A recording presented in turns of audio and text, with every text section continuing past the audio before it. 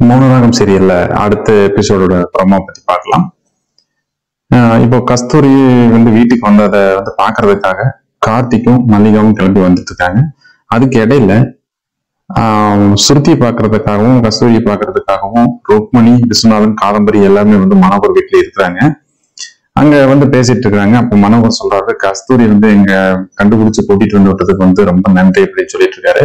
ஆஹ் ருக்மணி வழக்கம் போல அவங்களுக்கே உண்டான ஒரு பாணியில வந்து இதுக்கு தேங்க்ஸ் எல்லாம் சொல்றீங்க. அந்த மாதிரி வந்து ரொம்ப உரிமையா வந்து நல்லது மட்டுமே பண்றது மாதிரி வந்து மாணவர்கிட்ட வந்து சொல்லிட்டு இருக்காங்க.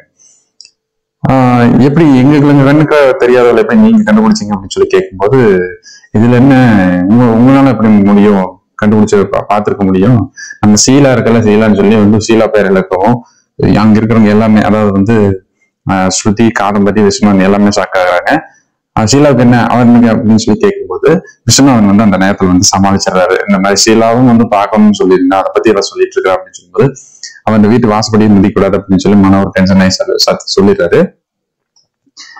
அதுக்கப்புறமா மனோகர் வந்து பக்கத்துல கஸ்தூரி பக்கத்துல நிக்க சொல்லி போட்டோ எடுக்கிறேன்னு சொல்லி இந்த மாதிரி வந்து ஏதோ தேவையில்லாத இது இல்லாம வந்து இப்ப ருக்மிணி பண்ணிட்டு இருக்காங்க காலம்பரி ஒண்ணு சொல்றாங்க இவங்க வீட்டுக்கு வந்ததை வந்து நம்ம செலிப்ரேட் பண்ண வேண்டாம் அப்படின்னு சொல்லி விஸ்வநாதன் கேக்குறாங்க. கண்டிப்பா வந்து பண்ணணும் அப்படின்னு சொல்லி விஸ்வநாதன் சொல்றாரு.